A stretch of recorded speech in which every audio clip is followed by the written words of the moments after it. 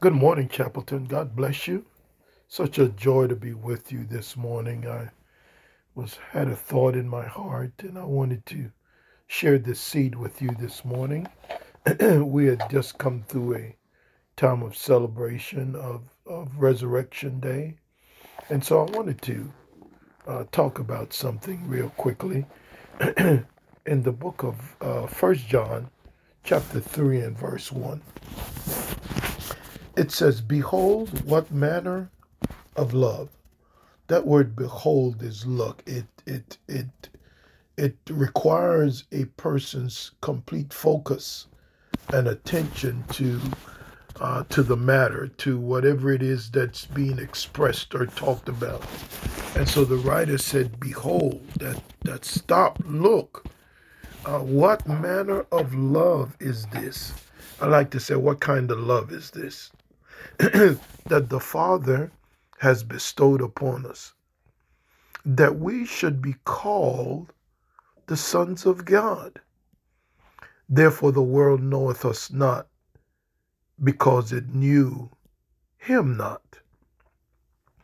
And and and uh, another scripture here is Jesus tells us in Luke 15 and verse 20, and nobody knew the Father like Jesus. Jesus, matter of fact, Jesus said, No one has seen him or known him. You see, but the Son that reveals them to us. and so Jesus said in Luke 15, you know the story of the prodigal. He said, And he arose and came to his father. But when he was yet a great way off, his father saw him and had compassion and ran and fell on his neck and kissed him. Now, true enough, this is this this uh uh, this reaction of the father uh, is within the context of the son's um, uh, uh, repentance. But I want you to see something here that Jesus says that the father was all the while looking out for this boy. He doesn't respond the way humans respond because so many of us do not realize that we were not designed to respond according to the flesh.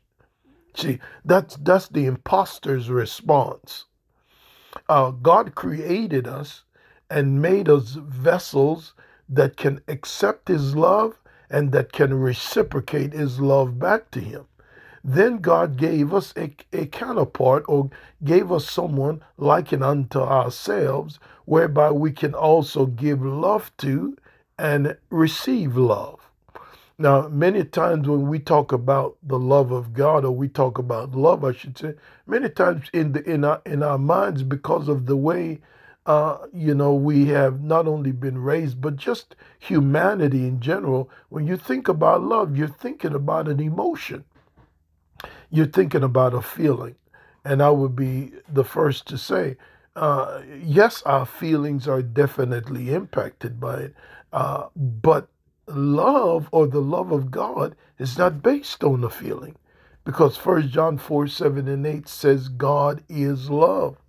But but I like to look at what the love of God brings to us. When when when when when the love of God comes to us, it does quite a bit for us. For instance, it it alleviates our self-esteem. It it lifts our self-esteem, our value. It lifts our value, you see, uh, uh, the, the, the, the, the way we see ourselves. It, it lifts all of that. The love of God lifts the person out of this uh, arena and rut of, of what sin has caused in their lives. And it, and it brings them face to face with a God that loves them and the intention of God for them and for their lives.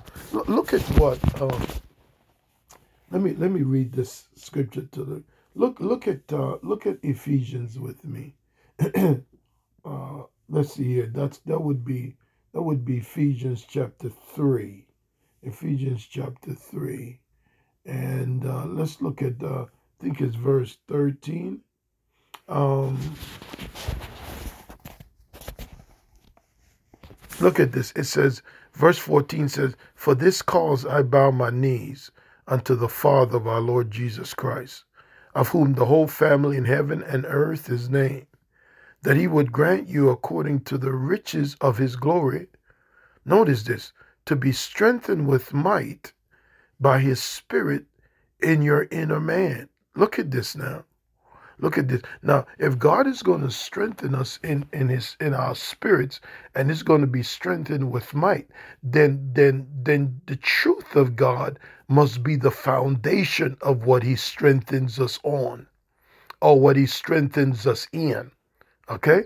Because if I'm going to be strengthened with might by his spirit in our inner man, it is not just a sense of power that goes through me and that's it. No, it is the truth that comes with this power that solidifies who I am and who's uh, and God's original design for me, God's intention for me.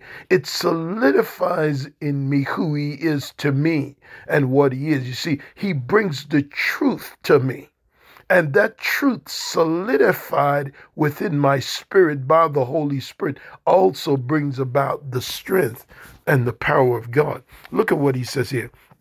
He says, he said, this strength, this this strength and might by his spirit in our inner man. Look what it calls it. It causes that Christ dwell in your hearts by faith. You see that? Now the question is, isn't Christ already dwelling in my heart when I got born again? Yes, of course.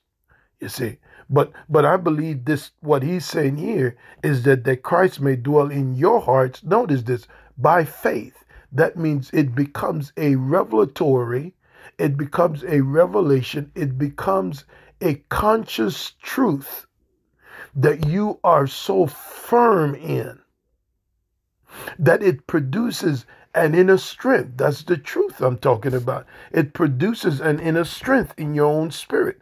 He said, he said that you being rooted, look at this. This is what it does. That you being rooted and grounded in what? In love. That you be rooted and grounded in love. And look at what happens when that happens.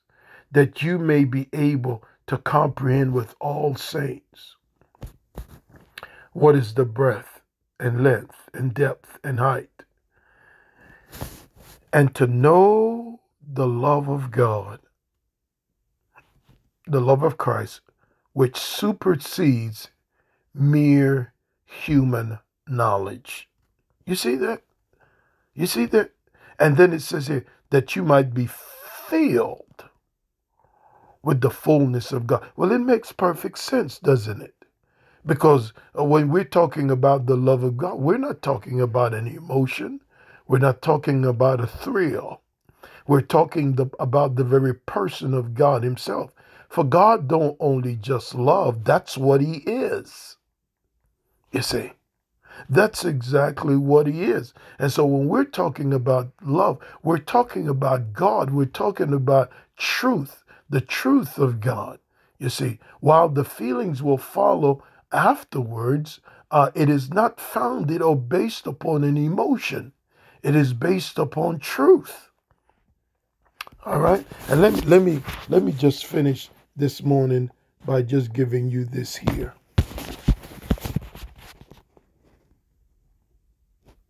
The the uh, let's see here. Glory to God. First John three and verse one. Now, um, the the Mirror Bible, it says, "Consider the amazing love the Father lavished upon us." This is our defining moment. We began in the agape. You see that? That's where we started. You see, you see, you know, when when many of us hear about walking in love, and we're trying. We're trying to walk in love. The Bible never tells us to try. You see, there, there's there's some things that we first must understand and realize, right? It says, consider the amazing love the Father lavished upon us. This is our defining moment. We began in the agape. The engineer of the universe is our Father. That's exactly how we started.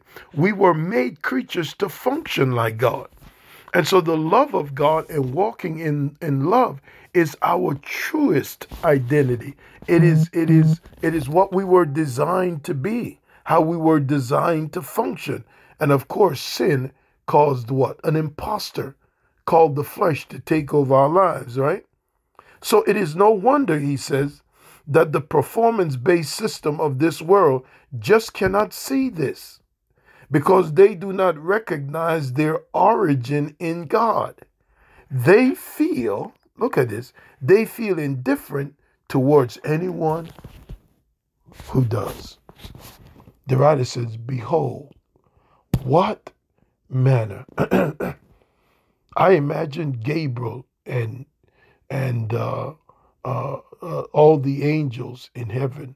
I imagine all of heaven stood aghast. They they leaned over, as it were, the balconies of heaven, while they beheld the Lamb of God, allowing His creation to to beat him to the point of him not being recognized, to pull it's, it's the hair out of his face.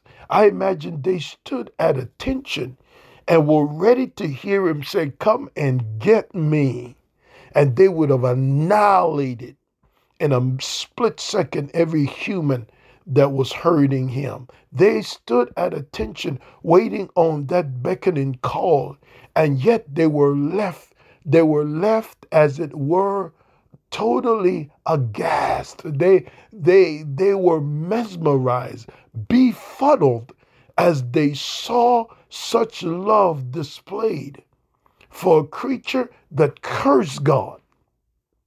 And and you know, it, it, it, not understanding the plan, not understanding all that God had in his heart and what God wanted to do.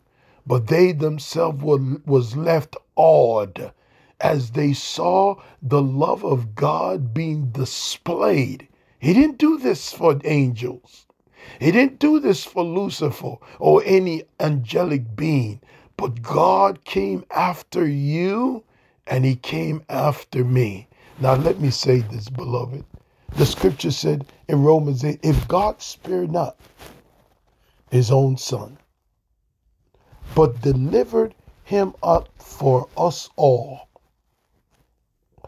how shall he not then with him freely give us all things? You see this? If God did not withhold what heaven, the, the jewel of heaven, if God did not withhold him from us, then what would he withhold from you now? What would he keep from you? If God didn't withhold him while we were yet sinners, Romans 5 said, Christ died for us. While we were away from God, Christ died. So if God did not withhold Jesus from us when we were sinners, not thinking about him, you trying to tell me that because we have messed up here, done this here, done the other, then God would withhold himself from us? No, beloved. No. Behold, what manner of love the Father has bestowed on us that you and I should be called the sons of God. God bless. Love you much, beloved. Remember, the power of the seed is not in its size, is in its contents. God bless. Bye bye.